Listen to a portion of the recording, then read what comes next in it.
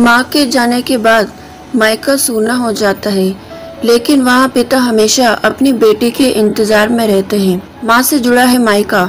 माँ के ना होने का सूनापन, पिता का अकेलापन और उनकी बेटी का इंतज़ार कैसे नहीं देख पाई मैं। बच्चों की गर्मियों की छुट्टियाँ लगे, अभी दो दिन ही हुए थे। सुबह सुबह पापा का कॉल आ गया। बोले, बेटा, कब आओगी? मैंने अनमने मन से बोल दिया, पापा, कुछ पक्का नहीं है। ऋषि टूर पर गए हैं। उनके आने के बाद देखती हूँ। पापा की आवाज़ रुआसी हो गई। बोले, बेटा, तुम्हारी माँ नहीं है तो क्या हुआ? तुम्हारा मायका तो है, और मैं तो हूँ। ऋषि से बात करो और जल्दी आ जाओ। मैंने कहा, जी पापा, इसके आगे मैं कुछ बोल नहीं पाई। जब तक माँ थी, उनसे रोज फ़ोन पर ढेरों बातें करती थी। साल में एक बार गर्मी की छुट्टियों में मैं पूरे दस दिन के लिए मायके जाती थी। वो सुख किसी जन्नत से कम नहीं होता था। बच्चों से ज़्यादा मुझे गर्मी की छुट्टियों का इंतज़ार रहता था। पर जब से माँ गई, मेरा मायके जाने का मन ही नहीं करता। ऐसा लगता जैसे मेरा मायका ही खत्म हो गया। एक सूनापन, एक खालीपन सा मेरी ज़िंदगी में भर गया था।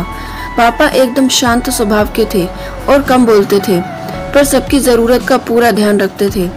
ऐसा नहीं कि मैं पापा को प्यार नहीं करती थी। पर बचपन से मैं मार्क से ज़्यादा करीब थी। या यूँ कहूँ कि वो मेरे दिल के सबसे करीब थी। अपने सारे सुख दुख एक सहेली की तरह मैं उनसे साझा करती थी। आज सुबह सुबह पापा का कॉल आया तो उन्हें मना नहीं कर पाई।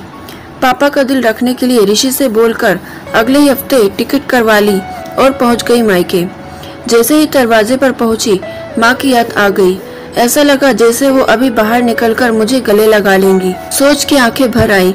किंतु आज माँ की जगह पापा बाह फैलाए मेरा इंतज़ार कर रहे थे। सालों बाद पापा के गले को लगकर खूब रोई। पापा ने अपने आँसू छुपाते हुए प्यार से मेरे सिर पर हाथ फेरा तो दिल थोड़ा हल्का हो गया। बहुत दिन बाद पापा को देखा, कमज़ोर लग रहे थे। वैसे तो भाई भाभी और पापा सभी मेरा बहुत ध्यान रख रहे थे। बच्चे तो अपने खेल और मस्ती में व्यस्त हो गए थे, पर ना जाने क्यों मेरी नज़रें हर पल जैसे माँ को ही ढूंढती थी। आज भी पापा पहले की तरह रोज खाने के बाद मेरी पसंदीदा मटका कुल्फी लाना नहीं भूलते थे। भाई भी बच्चों को कभी पार्क, कभी चिड़ियाघर तो कभी बाज़ार घुमाने ले जाता था। भाभी भी रोज मुझसे पूछकर मेरी पसंद का खाना बनाती। सब कुछ पहले की तरह ही था, बस माँ नहीं थी। इस बार मायके में मेरा दिल नहीं लग रहा था। माँ की कमी मुझे बहुत खल रही थी। ऋषि को कॉल करके मैंने दो दिन बाद टिकट करवा लिया। सबने मुझे रोकने की बहुत कोशिश की, पर मैं नहीं मानी। देखते ही देखते मेरे जाने का समय आ गया। आज शाम की ट्रेन से मेरी वापसी थी।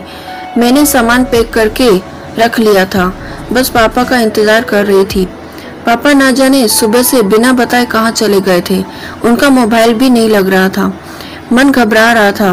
बिना बताए आखिर कहाँ गए। इधर मेरी ट्रेन का समय भी हो रहा था। समझ नहीं आ रहा था कि मैं क्या करूँ। तभी पापा का कॉल आया और बोले, गुड़िया, तुम लोग स्टेशन पहुँच जाओ, मैं सीधे वहीं पहुँच रहा हूँ। हम लोग स्टेशन पहुँच गए। ट्रेन सही समय पर थी। पापा स्टेशन पर हमारा इंतज़ार कर रहे थे। उनके हाथ में एक बॉक्स था।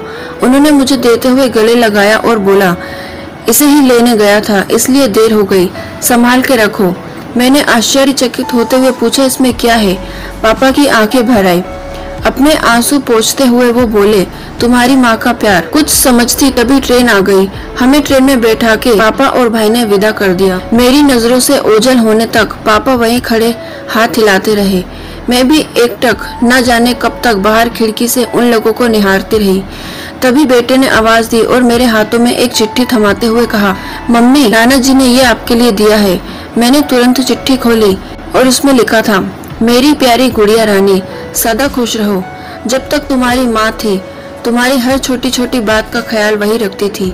मैं जानता हूँ कि मैं तुम्हारी माँ की जगह नहीं ले सकता, पर उनकी कमी की पूर्ति करने की कोशिश तो कर ही सकता हूँ।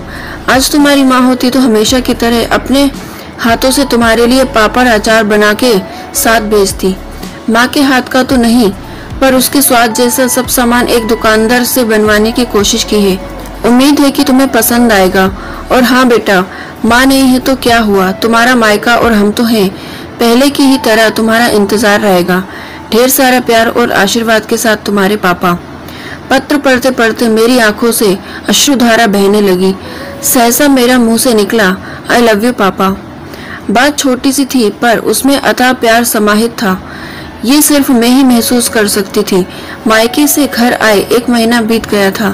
अब पापा के रोज एक बार कॉल कर मम्मी की तरह घंटों बातें करती हूँ। दोस्तों, इस टॉपिक पर आप कुछ कहना चाहते हैं तो हमें अपनी राय कमेंट बॉक्स में ज़रूर शेयर कर सकते हैं। और अगर आपको ये वीडियो पसंद आई तो इसे लाइक और शेयर ज़रूर करें। और आगे ऐसी वीडियो जानकारी पाने के लिए हमारे चैनल को सब्सक्राइब करना ना भूलें। Thank you